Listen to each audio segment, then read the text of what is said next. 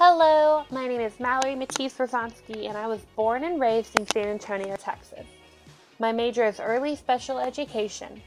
With my major, I would really like to teach from kindergarten to about fifth grade. I think the three words that best describe me are free spirited, blissful, and eclectic. I love to be outside and to explore.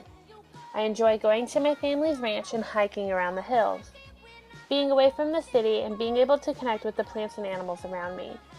I enjoy being able to be still and not rushed like I am in the city. I think that I am blissful because I really like to find the good in things. I am not perfect or even close, so the more good that I can find in people and my surroundings, the better bad situations become and the less stressed I am. I am eclectic because I not only like all kinds of music, but I also enjoy art and theater. I love sports, go Spurs go, and my favorite sport to play is volleyball. I'm up to try pretty much anything. If it sounds fun or not, I will give it a try and at least think about the crazy stuff. My mom and my grandparents really inspire me to be the person I am today. They are all such hard workers and would do anything for our family. My family as a whole, brothers, cousins, aunt, my mom and grandparents are the people that make me who I am today. I come from an extremely close family. We've all been through a lot, and we support each other through thick and thin.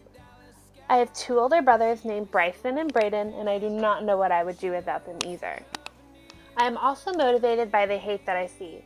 When I hear someone being mean to a person that cannot defend themselves, it drives me crazy. This is why I want to be a special education teacher. I want to help people understand that we are not here to judge each other. We are here to help. I hope to become a great teacher. I want to make a difference in children's lives and to give them a want to learn throughout life. I know that I will not do something miraculous, and I am okay with that. I do not think that is what I'm called to do. I just want to allow children the opportunity to learn and to have fun while learning.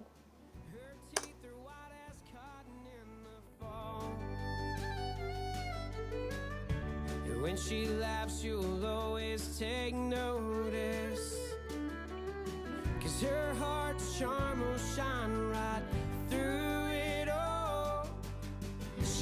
bright as the Dallas sky.